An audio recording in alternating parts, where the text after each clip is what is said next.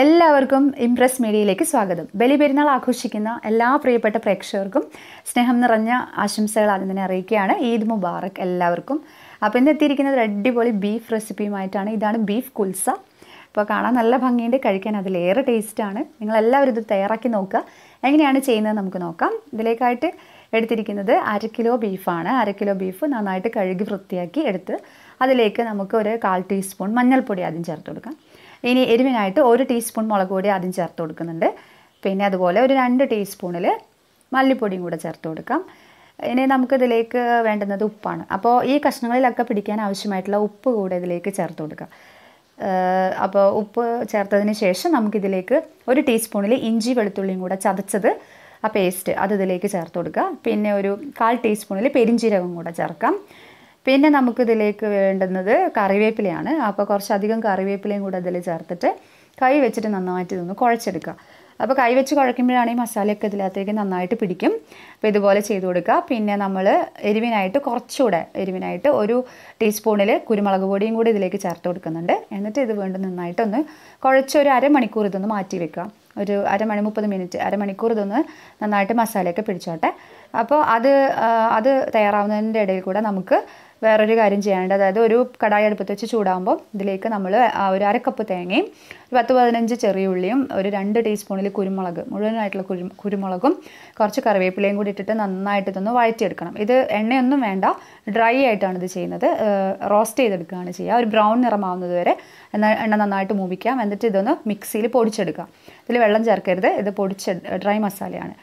നമ്മൾ അരമണിക്കൂറായിട്ട് എടുത്ത് വെച്ചിരിക്കുന്ന ബീഫാണിത്. ഇത് നമുക്ക് കുക്കറിലിട്ടിട്ട് വേവിച്ചെടുക്കാം. വെള്ളമൊന്നും ഒഴിക്കേണ്ട ആവശ്യമില്ല. നമുക്ക് അതിന്റെ പാകത്തിന് വേവിച്ചെടുക്കാം. ഇനി നമ്മളൊരു കടായി ചൂടാക്കിയിട്ട് അതിലേക്ക് ഒരു മൂന്ന് ടേബിൾ സ്പൂൺ എണ്ണ ഒഴിച്ചു കൊടുക്കാം. അത് എണ്ണ നിങ്ങൾക്ക് ഇഷ്ടത്തിനുള്ളത് എടുക്കാം.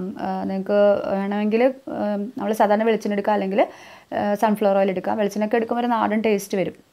അപ്പോൾ ഇതിന് ഉള്ളിയും രണ്ട് ഉള്ളിയും രണ്ട് തക്കാളിയും കൂടെ ചെറുതായിട്ട് അരിഞ്ഞ് ഇതിലിട്ടിട്ട് നന്നായിട്ടൊന്ന് വഴറ്റി കൊടുക്കുക. അപ്പോൾ ഇതിങ്ങനെ മൂത്ത് വരുന്ന സമയത്ത് നമ്മൾ ഇതിൽ നിന്നും ഒരു പകുതി ഒന്ന് എടുത്ത് മാറ്റി വെക്കുക. ഈ പകുതി ഉള്ളിയും അതുപോലെ തക്കാളിയും കൂടെ നമുക്കൊന്ന് അരച്ചെടുക്കണം മിക്സിയിൽ. അപ്പോൾ ബാക്കിയുള്ള ഉള്ളിയും തക്കാളിയും കൂടെ നന്നായിട്ട് വഴറ്റുക. പിന്നെ അതിലേക്ക് നമ്മൾ വീണ്ടും ഒരു ടീസ്പൂണിലും കൂടെ ഇഞ്ചി വെളുത്തുള്ളി പേസ്റ്റ് ഇതിലേക്ക് ചേർത്ത് കൊടുക്കുക. അതുപോലെ ഒരു അഞ്ചാറ് പച്ചമുളക് നല്ല എരിവുള്ള പച്ചമുളകും കൂടെ ചേർത്തിട്ട് നന്നായിട്ട് വഴറ്റി എടുത്തതിന് ശേഷം നമ്മൾ വേവിച്ച് വെച്ചിരിക്കുന്ന ബീഫ് കഷ്ണങ്ങളൊക്കെ ഇതിലേക്ക് ചേർക്കാം. എന്നിട്ട് വീണ്ടും നന്നായിട്ട് ഇതൊന്ന് ഇളക്കി യോജിപ്പിച്ച് കൊടുക്കുക. അതുപോലെ നമ്മൾ അരച്ച് വെച്ചിരിക്കുന്ന ഉള്ളി തക്കാളി പേസ്റ്റ് അതും കൂടെ ചേർത്തിട്ട് നന്നായിട്ട് ഇളക്കി യോജിപ്പിക്കണം. എന്നിട്ട് ഇതൊന്ന് അടച്ചു വെച്ചിട്ട് നമ്മൾ കുക്ക് ചെയ്യുക അപ്പോൾ വീണ്ടും ഇത് എല്ലാ മസാലാസ് ഇതിൽ പിടിക്കണമല്ലോ അപ്പോൾ ഇനി ഇത് കുറച്ചുകൂടെ നമുക്ക് മസാലാസ് ഇതിലേക്ക് ചേർത്ത് കൊടുക്കാനുണ്ട്. അതായത് ഇപ്പം നമ്മൾ ചേർത്ത് കൊടുക്കാൻ പോകുന്നത് മഞ്ഞൾപ്പൊടിയും മുളക് പൊടിയൊക്കെ നമുക്ക് കുറച്ചുകൂടെ നമ്മൾ ചേർത്ത് കൊടുക്കണം. അത് നമ്മൾ കഷ്ണങ്ങളിൽ മാത്രമാണല്ലോ ചേർത്തത്. അപ്പോൾ ഈ ഒരു മസാലയ്ക്ക് ഇത് വേണമല്ലോ. അതുകൊണ്ട് നമ്മളിതിലേക്ക് വീണ്ടും മഞ്ഞൾപ്പൊടി അതുപോലെ മുളക് പൊടി ഒരു ടീസ്പൂൺ നമ്മുടെ എരിവിനനുസരിച്ച് മുളക് പൊടിയൊക്കെ ചേർക്കുക. അതുപോലെ ഉപ്പ് നിങ്ങളുടെ പാകത്തിനനുസരിച്ച് ചേർത്ത് കൊടുക്കണം. അപ്പോൾ വീണ്ടും ഇവിടെ രണ്ട് സ്പൂണും കൂടെ ടീസ്പൂണും കൂടി മല്ലിപ്പൊടി ചേർക്കുന്നുണ്ട്. പിന്നെ ആവശ്യത്തിന് ഉപ്പും കൂടി. കുറച്ചുകൂടി ഉപ്പ് ഇതിലേക്ക് ചേർക്കുന്നുണ്ട്. എന്നിട്ട് ഇതെല്ലാം കൂടി നന്നായിട്ട് ഇളക്കി യോജിപ്പിച്ച് ചെറിയ തീയിൽ നന്നായിട്ട് അടച്ചു വെച്ച് ഇത് വേവിച്ചെടുക്കുക. അപ്പോൾ ഈ എല്ലാ മസാലകളും ഈ ബീഫ് കഷ്ണങ്ങളിലോട്ട് പിടിച്ചു കഴിഞ്ഞാലാണ് ഇതിന് നല്ല ടേസ്റ്റ് വരും. ഇപ്പോൾ കറിവേപ്പിലയും മല്ലിയിലയും ഒക്കെ നമുക്കിതിലേക്ക് ഇട്ട് കൊടുക്കാം. പിന്നെ നമ്മളിതിലേക്ക് ഇനി ചേർത്ത് കൊടുക്കാൻ പോകേണ്ടത് തേങ്ങ പൊടിച്ചെടുത്തതാണ്. നമ്മൾ നേരത്തെ തേങ്ങയും ചെറിയുള്ളിയും കുരുമുളകും കറിവേപ്പിലയും കൂടെ മിക്സിയിൽ വറുത്തെടുത്ത് ചതച്ച് വെച്ചിട്ടുണ്ടല്ലോ. മിക്സിയിൽ നന്നായിട്ട് പൊടിച്ചെടുത്തിട്ടുണ്ടല്ലോ. ആ ഒരു ഇതാ ഇത് ഇതുപോലെ ചേർത്ത് കൊടുക്കുക. ആ ഒരു കൂട്ട് ഇതിലേക്ക് ചേർത്തിട്ട് വീണ്ടും നമ്മൾ കുറച്ച് സമയം അടച്ചു വെച്ചിട്ട് ഇത് വേവിക്കണം. അപ്പോൾ അപ്പോഴാണ് ഇതൊക്കെ ഈ ഫ്ലേവർ ഈ ബീഫിലേക്ക് പിടിക്കും. ഇതേപോലെ അടച്ചു വെച്ചിട്ട് നന്നായിട്ട് കുക്ക് ചെയ്ത് കൊടുക്കുക. അപ്പോൾ നമ്മളെപ്പോഴും ബീഫിൽ ആ ഒരു ഡ്രൈ ആയിട്ടുള്ളതാണ് നമുക്ക് ആവശ്യമുള്ളതെങ്കിൽ മസാല ഇതുപോലെ നമുക്ക് ഇത് ഡ്രൈ ആക്കി എടുക്കാം.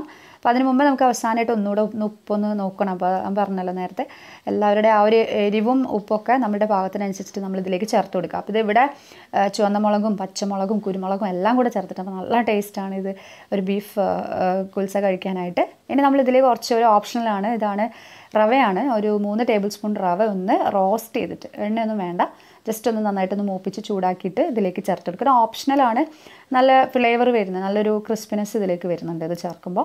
പിന്നെ നമ്മൾ ഇതിലേക്കൊന്ന് താളിച്ച് കൊടുക്കുന്നുണ്ട്. താളിക്കുന്നത് ഒരു രണ്ട് ടേബിൾ സ്പൂൺ എണ്ണ ഒഴിച്ചിട്ട് വെളിച്ചെണ്ണ ഒഴിച്ചിട്ട് അതിലേക്ക് തേങ്ങാക്കൊത്തും അതുപോലെ ചുവന്ന വറ്റൽ മുളകും കുറച്ച് കറിവേപ്പിലയും കൂടി ഇട്ടിട്ട് നന്നായിട്ട് ഇത് വഴറ്റിയെടുത്തിട്ട് നമ്മൾ ഈ ബീഫിലോട്ടേക്ക് ചേർത്ത് കൊടുക്കാം.